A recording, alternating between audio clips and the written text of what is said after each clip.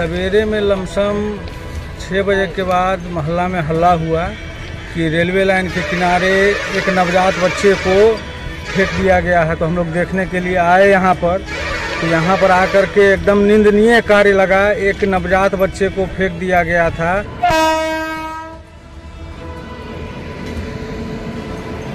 इंसानियत को शर्मसार करने वाली घटना आई सामने। रेलवे ट्रैक के किनारे मिला नवजात का शव। इंसानियत को शर्मसार करने वाली एक घटना दरभंगा में अहले सुबह देखने को मिली है, जहाँ रेलवे ट्रैक के बगल में झाड़ियों के बीच नवजात शिशु का शव मिला। रेलवे ट्रैक पास मिले नवजात शिशु के शव पर कपड़ा तक नहीं था, जिस किसी ने भी इस मंजर को देखा, वह हतपर रह गया। इस दौरान लोगों ने इस घटना की सूचना पुलिस को दी। वही सूचना मिलने के बाद पुलिस मौके पर पहुंचकर शव को कब्जे में लेकर मामले की जाँच में जुट गई है।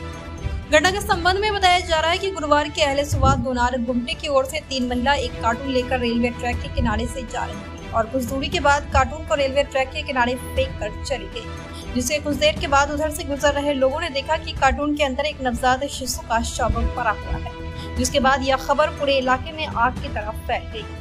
वही स्थानीय मृत्युंजय चौधरी ने कहा कि सुबह में अचानक शोर मचा कि कार्टून में एक नवजात शिशु की लाश पड़ा है। शोर सुनते ही मैं भी मौके पर पहुँचा और देखते ही देखते वहाँ लोगों की भीड़ जमा हो गई। शिशु के शव की स्थिति देखकर प्रतीत होता है कि उसका कुछ ही घंटे पहले ही जन्म हुआ होगा वही उन्होंने कहा कि इस शर्मनाक घटना को अंजाम देने वालों ने हैवानियत का परिचय दिया है। सवेरे में लमसम छः बजे के बाद मोहल्ला में हल्ला हुआ कि रेलवे लाइन के किनारे एक नवजात बच्चे को फेंक दिया गया है। तो हम लोग देखने के लिए आए यहाँ पर। तो यहाँ पर आकर के एकदम निंदनीय कार्य लगा। एक नवजात बच्चे को फेंक दिया गया था। यहाँ पर आने पर जानकारी हुई कि तीन महिलाएँ छः बजे सवेरे में आकर के उस नवजात बच्चे को यहाँ फेंक करके चली गई हैं। चाहे किसी कारण से हो, अवैध संबंध के कारण वो बच्चा हुआ हो, या जिस कारण से भी वो बच्चा हुआ हो, लेकिन ये निंदनीय कार्य हुआ है और सामाजिक पतन हुआ है इससे। इस न्यूज़ के प्रायोजक है मेम साहब ladies wear, address city centre near Lee showroom, Subhash Chowk Darbhanga.